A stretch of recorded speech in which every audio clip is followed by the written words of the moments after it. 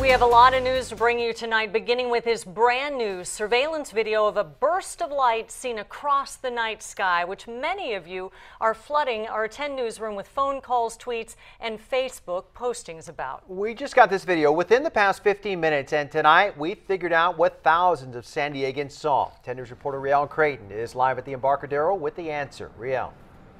Uh, from LA to Carlsbad, all the way to Imperial Valley, a lot of people saw this thing, and so many of them with the same question what is it?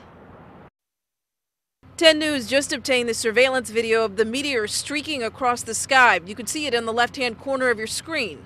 We were both like, what was that? It was a mix of thrilling and frightening, and unlike anything Monica Castleberry had ever seen before. At first, I'm like, oh, beautiful. That's an ordinary shooting star. I've never seen one like that. But then when it gets big, red, and flaming, I'm like, oh my gosh, is that a meteor? More like a meteor shower, known as a Taurid meteor shower. This is video of one that happened last year. They're seen and most often visible in October and early November, usually shooting between 2 and 10 meteors and known for their big, bright fireballs. It's a big, red, flaming looking like fireball and then it's just going through the sky and then boom.